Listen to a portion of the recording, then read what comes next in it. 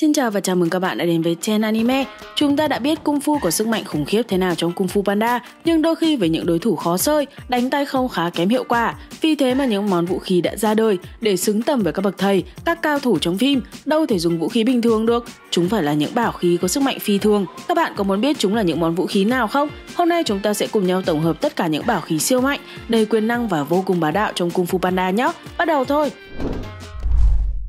Mở đầu danh sách là bảo bối nhiều khả năng đặc biệt nhất trong Kung Fu Panda, bộ ba quả cầu linh hồn của Đinh. Nguồn gốc thật sự của những quả cầu mạnh mẽ này đến nay vẫn còn là một bí ẩn. Chúng ta chỉ biết được rằng Đinh, một môn sinh rèn luyện Kung Fu chăm chỉ, bỗng một ngày thức tỉnh thứ sức mạnh kỳ lạ sau quá trình rèn luyện sự tập trung cao độ. Sau đó hắn tung hoành khắp nơi với ba quả cầu bay lơ lửng phát sáng. Khi ấy Uwei cùng năm đồ đệ ưu tú của mình xuất hiện ngăn chặn hắn, nhốt linh hồn hắn ở một cung điện trên núi cao. Còn ba quả cầu cạn linh lực được cất giữ ở ngọc điện. Sau này trong một lần nghịch ngợm, Hâu và Hổ Tỷ đã thả cho ba quả cầu bay đi, hội ngộ với linh hồn đinh giúp hắn hồi sinh, vì chỉ nghĩ đấy là những quả cầu dưỡng sinh của thầy Shifu dùng để trị thương.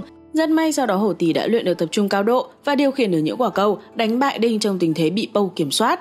Nói về khả năng của ba quả cầu này phải nói là rất bá đạo, tương tự một số vũ khí điều khiển bằng tâm trí khác như thập nhẫn của Shang Chi, cầu linh hồn của Đinh có thể làm được mọi thứ, từ tấn công, phòng thủ cho đến giúp chủ sở hữu thức tỉnh vô vàn thứ năng lực khác như dịch chuyển, bay, điều khiển đồ vật, bắn trưởng năng lượng, xuất nhập hồn, vân vân và mây mây, miễn trí tưởng tượng của chủ sở hữu không bị giới hạn và quan trọng là người dùng phải tập trung.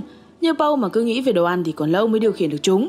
Điều nguy hiểm khi sử dụng những quả cầu này, đương nhiên rồi, do quyền năng quá lớn nên người sử dụng rất dễ bị tha hóa như Đinh. Câu chuyện gắn liền giữa món bảo khí này và ngũ đại hào kiệt tiền nhiệm đã không còn xa lạ với chúng ta. Xian, một quái vật đáng sợ khiến ngũ đại hào kiệt tiền nhiệm phải vất vả mới đánh bại được. Sau trận chiến hắn không chết đi mà đưa linh hồn oán hận của mình vào thanh kiếm, biến nó trở thành một thanh kiếm bị nguyên rủa. Chứ thực chất ban đầu nó cũng chỉ đơn giản là một món vũ khí thông thường, mạnh hơn đao kiếm bình thường một chút. Sau khi bị nguyền rủa, thanh kiếm trở thành một trong những bảo vật mạnh nhất thế giới, sở hữu thứ sức mạnh mà cho đến tận bây giờ vẫn chưa có ai tìm ra giới hạn của nó. Shifu là người đầu tiên chạm vào thanh kiếm sau cái chết của Xian và lập tức hoảng sợ trước sức mạnh tà đạo bên trong thanh kiếm. Vì thế mà ông thẳng tay ném nó xuống dung nham để tiêu hủy. Vì việc này mà nhóm của ông dần tan rã.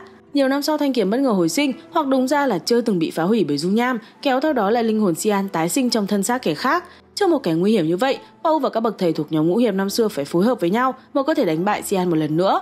Và lần này, chính tay Phương Hoang, kẻ khao khát sức mạnh nhất trong nhóm, thả rơi thanh kiếm xuống dòng dung nham. Liệu rằng thanh kiếm có trở lại nữa không? Không ai biết cả.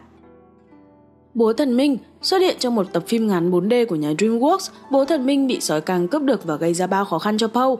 Trong phần này, Paul, Shifu và ông Ping cần hoàn thành nhiệm vụ đưa lọ nước sức mạnh tối thượng đến cho hoàng đế. Sau khi biết về lọ nước, Kang đã đánh cắp búa thần minh từ khu trưng bày và sử dụng nó để tấn công Paul, Shifu và ông Ping. Dù ban đầu Kang bị Paul đánh bại trong hang ổ của hắn, nhưng hắn vẫn phục kích tại cung điện của hoàng gia. Búa thần minh có khả năng siêu đặc biệt, một gõ là tiễn thẳng mục tiêu đến linh giới. Kang sau khi dùng búa khiến Paul rơi vào thế bí, Hắn đã bắt Paul lựa chọn giữa cứu cha và cứu lọ nước sức mạnh. Paul quyết định cứu cha mình, còn Kang thản nhiên uống lấy uống để thứ nước kia, uống sạch không còn giọt nào. Hắn mới phát hiện ra trong lọ nước đó là nước sốt cay nóng pha theo công thức bí mật của ông Ping, thế là không đánh tự thua. Sau khi được đưa trở lại cõi trần, Paul trả búa thần minh về chỗ cũ. Mystical Dagger là món bảo khí bí ẩn nhất trong phim, hầu như mọi thông tin xuất xứ của con dao này chúng ta đều không biết. Kỳ lạ là trong lần đầu tiên nó được giới thiệu, chúng ta đã thấy nó được giấu sẵn bên trong một con búp bê. Trong tập phim Hall of Flame, Paul cần tìm một món bảo khí để trưng bày trong ngọc điện và hành trình lang thang đã dẫn cậu đến cuộc tranh giành con búp bê đó, để rồi phát hiện ra một trong những món bảo khí ngầu nhất, giúp cậu có chỗ đẹp trong đại sảnh chiến binh. Nhưng rồi Paul cũng đưa nó cho phú ông trông để đổi lấy an toàn cho cha con ông Han. Đáng ghét thay, tên trông lại trở mặt, dùng con dao tấn công Paul. Trông nó đơn giản vậy thôi, chứ khả năng khủng phết đấy. Mystical Dagger có khả năng biến hình giữa kiếm và dao găm. Khi người sử dụng đâm xuống đất, nó sẽ tạo ra một luồng khí xung quanh khu vực đó. Khi nó được nâng lên trong không trung, ánh sáng xuất hiện trong con dao găm và biến thành một thanh kiếm. Nó cũng trở thành một vũ khí tầm xa khi có thể chém ra xung lực. Khi bị cắm xuống đất ở dạng kiếm, món vũ khí này còn tỏa ra một sức mạnh gần như tạo một vụ nổ lớn. Cũng may nó chưa được bung hết năng lực. Trong nỗ lực chống trả của mình, Paul đã đánh bại trông và cứu con búp bê của em bé. Con dao thì Paul để nó rơi xuống vực sâu, cũng vì thế mà toàn bộ quyền năng của nó vẫn chưa được tiết lộ. Chúng ta đến với cây búa tiếp theo, búa mây. À thật ra nó không có sức mạnh gì đặc biệt cả, tôi cho vào đây vì nó là vũ khí chứ danh của sư phụ Tê Giác Sấm Sét. Ông đã có cho mình giai thoại truyền đời về chiến tích cùng cây búa này, quét sạch 10.000 binh lính rắn ở thung lũng Tai Hương. Cây búa này đặc biệt ở chỗ, nó được đồn là có đòn tấn công không thể cản phá, như kiểu một khi đã bị nó nhắm trúng, chúng ta phải bỏ ngay ý định chặn nó lại mà tìm cách khác. Cơ mà chưa quả đại bác tiễn sư phụ Tê Giác thẳng lên chơi, thì cây búa cũng bị vỡ một mảng khá khá. Sau này chen buộc dây đỏ và làm cúp cho mình nữa. Nói chung cây búa này cũng không phải bảo khí mang sức mạnh khủng khiếp cho lắm. Muốn thấy sức mạnh khủng khiếp thì phải xem món vũ khí tiếp theo đây này. Vâng, lại là một cây búa khác, nhưng đây là cây búa mạnh nhất danh sách này, búa chiến thần của Lê Lang. Cây búa có thiết kế thú vị này mang một thứ sức mạnh mà theo lời Shifu có thể quét sạch một thung lũng chỉ trong nháy mắt. Đúng thế, năm xưa lây Lang từng phá hủy rất nhiều khu vực rộng lớn chỉ bằng cách gõ búa. Cơ chế của nó là cứ hễ đầu búa hình nắm đấm chạm xuống đất, nó sẽ gây ra một vụ nổ ngang với vụ nổ nguyên tử cỡ nhỏ. Với những kẻ đủ sức điều khiển cây búa thì có thể gõ búa từ xa, truyền chấn động đến mục tiêu mình muốn. Còn với ai không biết, làm rơi một phát thì cả vùng rộng xung quanh sẽ tan tành, nói chung rơi vào tay ai cũng nguy hiểm. Sau thời lây Lang, Tông Phô là kẻ chiếm đoạt được cây búa, may thay chưa kịp làm gì đã bị Shifu ngăn chặn. Tuy nhiên trước khi bị nhốt vào nhà tù cho gom, hắn đã bí mật đánh cháo khiến Shifu cất giữa cây búa giả trong ngọc điện, còn hắn ngày đêm chờ cơ hội thoát thân để tìm lại cây búa. Trong phim, Paul đã vô tình để hắn thoát, nhưng nhờ có dự tính của Shifu, các bậc thầy Ngọc Điện vẫn thành công bảo vệ thung lũng và nhốt Tông Phô vào tù một lần nữa. Tiếp theo chúng ta sẽ đến với món vũ khí xuất hiện rất nhiều trong các phần phim và cả game Kung Fu Panda, thanh kiếm của các anh hùng. Ngay từ phần 1 thanh kiếm này đã xuất hiện trong giấc mơ của Paul và sau đó khiến Paul lắc mắt khi thấy nó được trưng bày trong đại sảnh chiến binh của Ngọc Điện. Câu nói rằng tương chuyển thanh kiếm này sẽ khiến bất cứ ai nhìn vào nó phải đứt tay và đúng thế thật, công nhận là bén vì nó được rèn bởi một trong những thợ rèn huyền thoại vĩ đại nhất Trung Hoa, em út của bộ tứ anh hùng. Đây là một câu chuyện góp nhặt trong cộng đồng fan Kung Fu Panda thôi, nhưng nó khá tín và hay nên tớ sẽ kể cho các bạn nghe. Xưa có bốn anh em sống ở một ngôi làng miền núi Yên Bình, ba người anh cả trở thành chiến binh, mỗi người thành thạo một loại vũ khí khác nhau. Người đầu tiên thành thạo thanh trường đao, người thứ hai sử dụng tích và người thứ ba sử dụng dao găm. Họ đã chiến đấu nhiều trận, khoe khoang về lòng dũng cảm của mình và được người dân trong làng gọi là anh hùng. Người em thứ tư là em út, trở thành thợ rèn và chế tạo công cụ cho những người nông dân trong làng. Các anh trai chế nhạo anh là kẻ hèn nhát và anh cũng hay bị cười nhạo trong thị trấn. Chuyện xảy ra vào một ngày nọ, ba gã khổng lồ khủng khiếp xuất hiện và hung hãn tàn phá ngôi làng, cướp lương thực của thị trấn cho mùa đông sắp tới. Ba anh em chiến binh dũng cảm đã ra tay chiến đấu với lũ khổng lồ. Họ đã chiến đấu anh dũng nhưng đã bị đánh bại và bị thương nặng. Những gã khổng lồ đã đánh cắp tất cả thực phẩm trong làng và tuyên bố sẽ quay trở lại vào mùa xuân.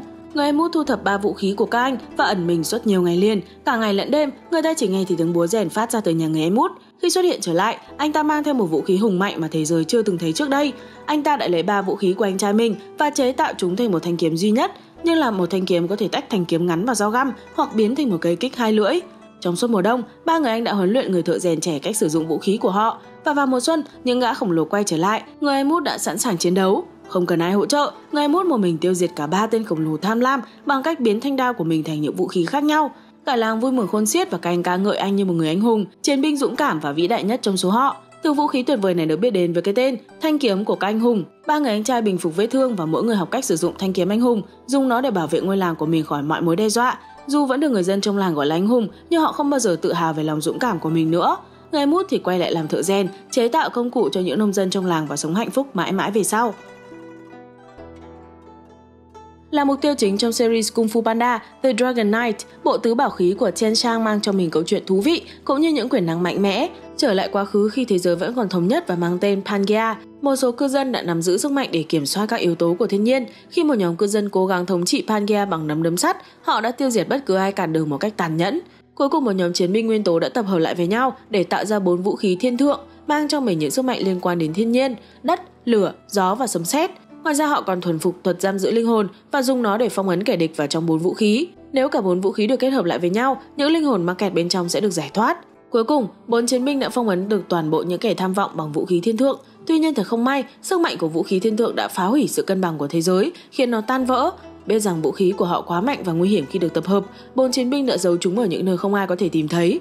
Một trong những vũ khí, găng tay Uwao, được để lại cho làng Wakun ở Trung Quốc trông coi, trong khi một vũ khí khác, roi lửa vĩnh cửu, được giấu trong thành phố mất tích. Về phần mũ thần gió, nó được cất giấu ở Polynesia cho đến khi được Pháp Sư Kai tìm thấy, còn bánh xe bã tố được giấu ở Trung Mỹ cho đến khi được Zuma tìm thấy. Về sức mạnh của từng món bảo khí, găng tay Uga mang sức mạnh của đất, người sử dụng đeo nó lên và chạm vào bất cứ thứ gì, nó sẽ phát nổ, khá tương đồng với cây búa của Lê Lang. Trong khi đó roi lửa vĩnh cửu, đúng như cái tên, có thể quất ra những ngọn lửa không thể dập tắt, giống Amaterasu trong Naruto.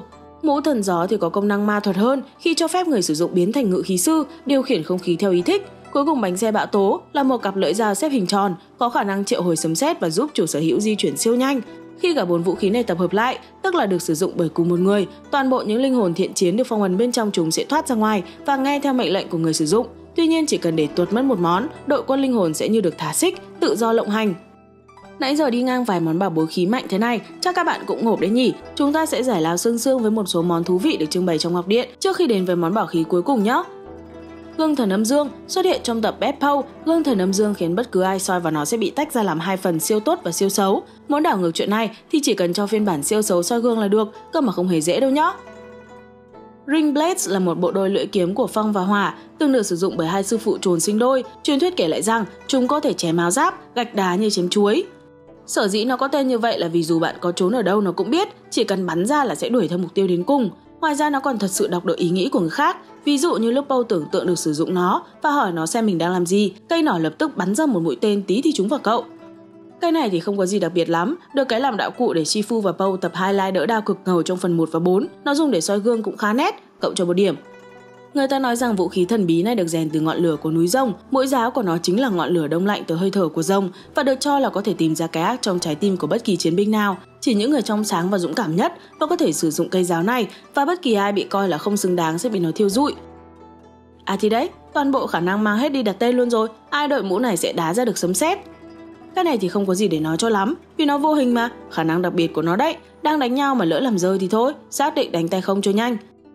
Đây thật ra là một bàn tay giả có cốt truyện nhất trong danh sách bà bối giải trí này. Jinwoo, thợ rèn của ngôi làng bên sông Hoa, bị mất cánh tay phải khi đang cố gắng bảo vệ gia đình khỏi bọn cướp của tỉnh Hajin. Anh ta nấu chảy các công cụ lao động bằng sắt và tự rèn cho mình một bàn tay kim loại rồi hàn vào cánh tay của mình. Khi bọn cướp quay trở lại, Jinwoo đã một tay đánh bại bọn cướp bằng nắm đấm thép công lý và đẩy chúng vào vùng đất hoang. Một thanh kiếm khá to và cồng kềnh, tương truyền nó có thể chém đứt đôi tảng đá từ khoảng cách khá xa, đúng là ma Canada. Bảo khí cuối cùng trong danh sách ngày hôm nay không gì khác chính là quyền trợ trí tuệ của đại sư Uwei, hiện thuộc sở hữu của thần Long, à nhầm, thủ lĩnh tinh thần Pâu Béo. Quyền trượng có phần đầu cong tròn, có thêm một viên đá nhỏ nối gần với quyền trượng, tạo thành biểu tượng âm dương một cách trực quan. Chiều dài của nó gần bằng Uwei, màu sắc chủ yếu là màu vàng, ngọc bích và xanh nhạt, dường như thay đổi tùy thuộc vào sự hiện diện của năng lượng chi xung quanh. Ví dụ, nếu linh giới chủ yếu có màu ngọc bích, Màu xanh đậm như đã thấy ở phần đầu Kung Fu Panda 3, quyền trượng sẽ có màu vàng. Nếu linh giới có màu vàng, khi Kai bị đánh bại và Uwei là nguồn chi chủ đạo, thì quyền trượng có màu vàng nhẹ pha màu ngọc bích. Còn khi Po truyền chi, quyền trượng sẽ có màu vàng sáng. Quyền trượng trí tuệ có khả năng khai thác năng lượng chi, vì thế mà có nhiều công dụng. Đáng chú ý nhất là khả năng tạo một cổng liên thông giữa hai thế giới. Ngoài ra chi được khai thác cũng có thể sử dụng để tạo ra một đòn tấn công hình rồng mạnh mẽ mà cả Po và Gen đều sử dụng trong Kung Fu Panda 4. Và đó là toàn bộ những bảo khí huyền thoại mà tớ tổng hợp được trong Kung Fu Panda. Các bạn thấy cái nào mạnh nhất? Để lại đánh giá của mình ở phần bình luận nhé. Nhớ like và đăng ký channel anime để không bỏ lỡ những video mới siêu thú vị. Chúng tớ sẽ quay lại sớm thôi. Còn bây giờ, xin chào và hẹn gặp lại. Bye bye!